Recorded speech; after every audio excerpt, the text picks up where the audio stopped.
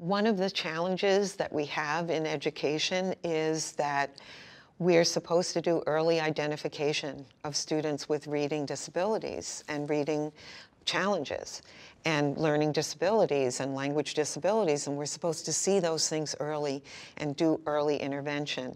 And there's a tension between that and feeling that all issues lie within the learner.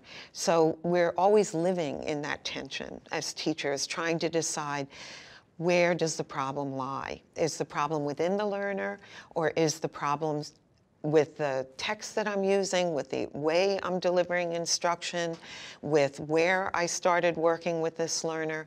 So we have to be looking at everything, not just the student, and definitely we need to consider the status of the first language. But this is where parents can really help us because they know their children.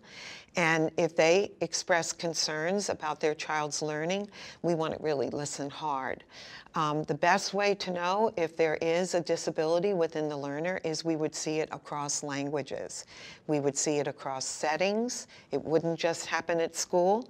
It would also happen when they're trying to process text other places, uh, in clubs that they might belong to, at home with their family. If they know how to read at any level in the native language, it would appear there as much as in English. So we don't want to suspect disability.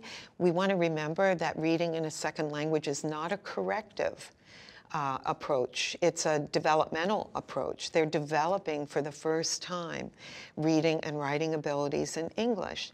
So we don't want to suspect disability, and we have no reason to believe that disability would exist at higher levels in uh, English language learners than it does in the general population, unless we know they come out of a traumatic um, situation in their home country. But we shouldn't be suspecting disability, and yet we're challenged to locate it early, if it does exist, to make sure that we're giving early intervention.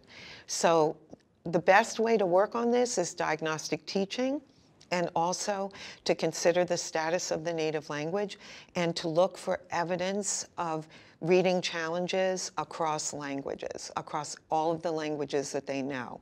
If I'm dyslexic, it's not just going to appear in English. It's going to appear in Spanish or any other language that I know equally. When I do that, I gain more confidence. When I only look through English, it's kind of a weak way of looking, and that's why we feel so insecure.